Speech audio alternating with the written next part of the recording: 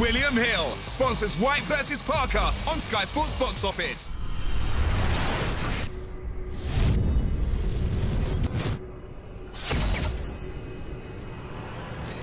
Fuck. One minute you think your dad's going to be proud because you win it on telly, then you start crying. Fucking hell. told you. Listen. Told you. I told you. Did you hear me shout for you or not? You I'm not here but I told you you were coming. I told you you were coming. me I told you you were coming, didn't I? I told you you were coming. Patient. Thank you. Listen, Thank. Excuse me, excuse me. legend. Get out of the you. way. Sister I've not seen him yet. Dave, Listen, David. David. No, You know, you know. I know, I know, I know. Did you hear me shout? Come on. Do this, because I'm going to go Sorry, sorry, sorry. Come on. You'll be next. Thank you very much. Thank you. right, just come in, just come in. Oh, sorry, I'm really Sorry. sorry. Well, after three rounds, Eddie, what were you thinking, first of all? Oh, f- well, it, it was just, my phone was going mad. What is this, Hearn? Get this rubbish out. Pay per view, never. What is this? Waste of money, blah, blah, blah. And then I'm thinking, and I just noticed that Webb was just getting a little bit tired and he was actually, at one point, I think he threw three punches in one round, which was unbelievable. So, and then actually, he threw, I think, a left hook to the body, and then about 30 seconds later, left hook to the body, right hand, brutal knockout. I can't believe it. I'm totally lost for words. I'm so pleased for him. And people will say, what's next? Well, it doesn't matter what's next, because what's next is a break. He came back too early after the Tony Yoka fight, but in his position, he's got no choice. And tonight, if he wants to, he turned his career around. Big purse, big win bonus. He don't really care about that, but I'm pleased for him because he want to go away, stick the dough down, buy yourself a house, and then actually build onto something. If you've got the desire to do it, he has to improve because he's going it back sometimes into a sparring partner mentality, bit of a loser's mentality. He's proved tonight he's a winner. So let's box like a winner. Mick stood by him. He's like painful to work with. Painful. I'm at the weighing game. Come on. My old man went into his change room trying to sort of G him up. He came back. He went, "That Dave Allen's on another planet." He said, "I was trying to give him a G up. I don't even know whether it went in. but who knows whether it? Who, who knows? It might have just been a lucky shot. It doesn't matter. It was one of the most dramatic finishes I've ever seen at the O2. And now I'm going to go and watch Joshua Buatsi. Go on, you crack on. Uh, oh, well, no. A world class fighter. a world class fighter. But listen, as world class as Joshua Buatsi is, he might not create that much uh, drama tonight. Who Well had the done. better, Thank better knockout, Fowler or Allen? Mine. That was well because it come from nowhere. I mean, Fowler looked like he was going to knock him out. That was like I would have given you hundred to one that Dave I've Allen. a bit of that No, I of know you would. ago. Uh, You know that he weren't winning by knockout. And listen, credit to uh, Nick Webb as well. Yeah. He stepped up to take the Joe Joyce fight. He he never had any complaints. Yeah, I'll fight Dave Allen, and he'll come again. But tonight is all about the White Rhino. Go on. Thank you. very Right, thank Sorry, you, mate. You got- something else. It's not embarrassing, is it?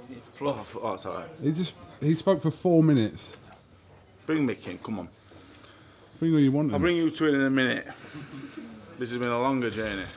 So, it was safe to say after, like I said, up until the punch. But can I just point out, Go on. I, I kept coming back, every, every, after the first round I came back to Mick, I said, um, I said I'll do him. Second round I said he's tiring. Third round I said he's going. Fourth round I says, I didn't know, I was saying all along, I said he's tiring, I'm just making him miss. Yeah, I knew he couldn't, I knew he couldn't do 10 rounds. It was just a case of whether he chinned me before I chinned him. He was never going to chin me, but to be honest, I'm, I'm really unfit. And if I get fit, British level is, a, is, is, is more than my, is, I'm capable of that, aren't Yeah, definitely, yeah, definitely. Yeah, if that's British level, I can do that without training. Mate, what was you thinking after the first three rounds? And he didn't seem busy enough, did he? No, I didn't. No, but it, it, well, no, it didn't seem busy enough. But like, um, I didn't want to. You couldn't force him to go out and blow himself out. Uh, but he was, he was throwing some, uh, some good shots, and Webb did look like he was starting to tire a bit. So it paid off. We had didn't it all yeah, along. yeah. People are going to ask what's next. Obviously, it's more of a question for Eddie Hearn, who didn't really answer that. But do you want a little bit of a break Yeah, now? a little break. I took the, the Yoka fight was only four weeks ago, and it was probably too soon. Yeah. Everyone around me didn't even want me to take this fight tonight, but you can't say to me you're going to fight at the O2 because the only the only one on the I was saying that, I didn't even ask me. I told him. I said to him get me the Webb fight, uh, and he offered me some money. It, it didn't matter what money he offered me. He, he just offered me really good money. I'd have took it for half. No, I shouldn't say that really, should I? No, you shouldn't. No, no, no. He paid me the right amount of money, not Yeah, enough. yeah. But um, but but uh, just a little bit of a rest. I want the British title. I'm, I think I'll have the rest of the year off as planned. I bet you don't. Win. I know, but if, if I bet said if to something me, gets if I- offered to you- if Whitehall Park, uh, something happens to me before 10 o'clock, I'll be in. I'm like, yeah, go on then. yeah, Go on then, get me in. Talk to me about how emotional you was as soon as Oh, kind of you realised I've got that. such an ugly crying face. One of them, it's like a, you know, one of them. I thought, fucking hell. I know my dad would be like, yeah, go on, son. And I start crying on telly, be like, fucking hell, you soft I, twat. I would, I would, I would have tears in my eyes and that. It's just been a long fucking time coming. And you know what? I'd love to say it's been loads of hard work, but it hasn't. It's just been me being a silly twat. And finally tonight, it's experience. I'm starting to get experience now. A year ago, I just choked. I just kept following him, and I'd be like, yeah, ugh. yeah. But today, I found it in the fourth round, and I thought, you know what? I can hit with right hand now. If I just feint, hit the body, then feint, then throw, experience. And uh, Nick Webb's a lovely man, really lovely fella. And if I if I didn't want to knock anyone out in a fight, it would have been him. But when he went down, I thought, please stop it. I think, oh, just fucking stop it. Because I would have choked. I wouldn't have finished him off. I'd have been like, ugh. I'd have proper fingered it. But I just hope he's all right, which I think he is. And um, I'm just going to go back now, have a little, I can say what I want in here, can't I? A little cry wank in the shower. Do you know what I mean? Pardon a little cry wank. You know when you get in the shower, you have a little cry and a wank. A cry and a shower wank? At the same time. You know, you ever not had one of them? Are you going to watch back that Babe Station video that they posted out, which was the most incredible thing I've ever seen? I've just got the most amazing people behind me. Babe Station. Nigel Benn came in here before the fight. And I was, he tapped me on the shoulder. I turned around and I thought, oh, who's that? And I thought, you and I literally, I was like, what? He was trying to wrap my hands. He was like, he was like, make a fist, and I was like, and I couldn't even hear what he was saying. Then Barry Hearn came in. Then Rob Tebbett came in. I went, Rob, Nigel Benn's just been in and Barry Hearn. Come on, mate. You know what I mean? You can take some topping. Like, you have to come up with some proper pearls of wisdom here to, to top that. But um, just an exception, just a fucking brilliant night, start to finish. Probably, probably the, one of the best nights of my life. One of them. I've had some decent ones when I was younger. Jesus Christ. Um, all right. Well, listen. I know you, you haven't even been to the dressing room yet, so I appreciate. Can I it. bring these two in? You can do. I've stayed with Rob Tebbett two nights a week. Been- I slept in a single bed. All right.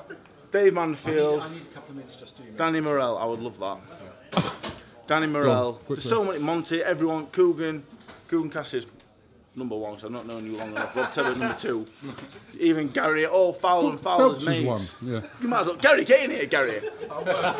Gary the postman from near Sandown This Racecourse. is the kid you bullied in the ring the other day, wasn't No, it? this is Danny Morell. He, he, he's going to be a million times the fighter I'm ever going to be. Uh, Mick Marsden, my uncle, my old uncle Mick. Thank you. Um, just everybody, you know what I mean?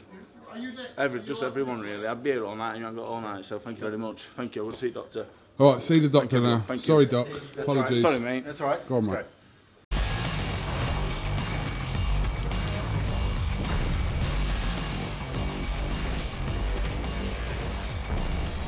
William Hill sponsors Whyte versus Parker on Sky Sports Box Office.